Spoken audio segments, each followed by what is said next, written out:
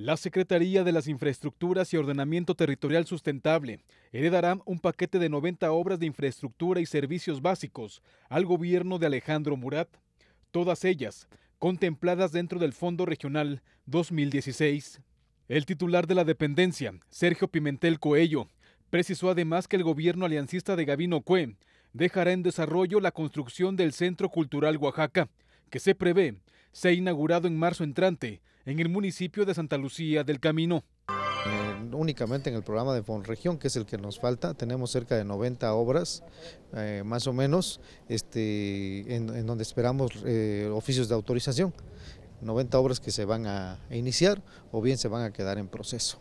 Estamos tratando de concluir las demás obras que tenemos. En el caso de los estratégicos, pues estamos ya la semana pasada ustedes fueron testigos, concluimos el archivo histórico, el día 22 de, noviembre vamos a inaugurar el centro de iniciación musical, el día 25 mm, vamos a estar inaugurando los mitlatongos y son de las obras este, más importantes. El Centro Cultural de Oaxaca es el que nosotros ya estamos ya, ya iniciamos, ese se queda en proceso, ese es muy probable que se termine en el mes de marzo del siguiente año, son obras que se quedan en proceso porque tienen cobertura.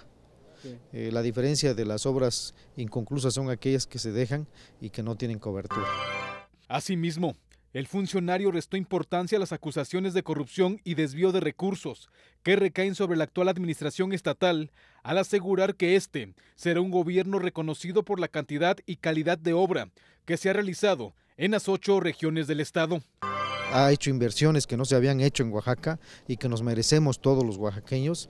La verdad que los presupuestos eh, no son suficientes, son más de 10 mil localidades, yo les comentaba la vez pasada, son cerca de 570 municipios. Todos los presidentes municipales se les ha dado sus recursos. Ustedes no han visto una queja, por ejemplo, de presidentes municipales que digan no tenemos obra, todos los reclamos son de otro tipo, pero no en este sector. Con imágenes de Pablo Cruz, informó para MBM Televisión Álvaro Morales.